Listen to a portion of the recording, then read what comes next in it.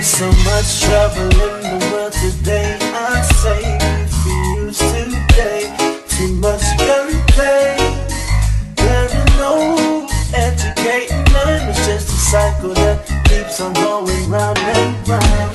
The story just gets worse when all you see is all the fighting in the streets, the violence on TV, the war in the Middle East. Is there anyone to blame? Is there anyone for change?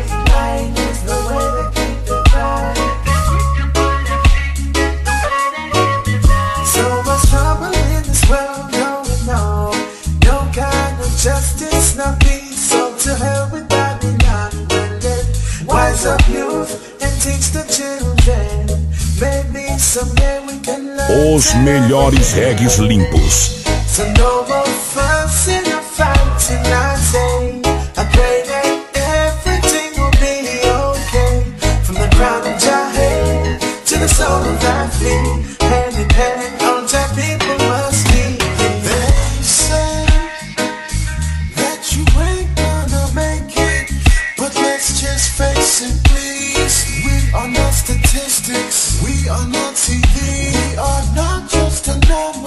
We are human beings. Trying to be the best we can. So people don't fret what you can't understand.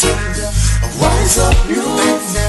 Eyes up to righteous youth. Just might get through.